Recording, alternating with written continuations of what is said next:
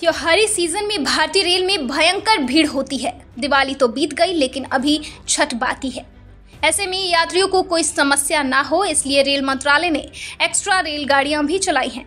हालाँकि ट्रेन की भीड़ से बचने के लिए यात्रियों ने गजब के जुगाड़ खोज लिए हैं।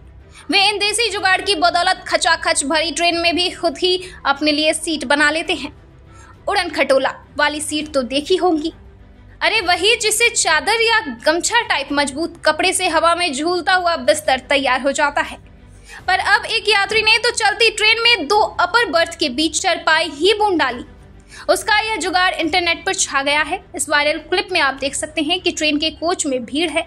यात्री अपनी अपर बर्थ पर लेटे हुए हैं, जबकि एक व्यक्ति दोनों बर्थ के बीच मौजूद जगह पर रस्सी से चारपाई बनाता नज़र आ रहा है। जी हाँ वह बर्थ के छोर पर मौजूद लोहे के सहारे उस पर रस्सी से मस्त लचीला बिस्तर तैयार करता दिख रहा है, जो लगभग पूरा ही हो गया है। बस किसी यात्री ने शख्स की कला को कैमरे में कैद करके वीडियो इंटरनेट पर डाल दिया, जिसके बाद अका पब्लिक हैरान है। ब्यूरो रिपोर्ट, दिल्ली समाचार टीवी।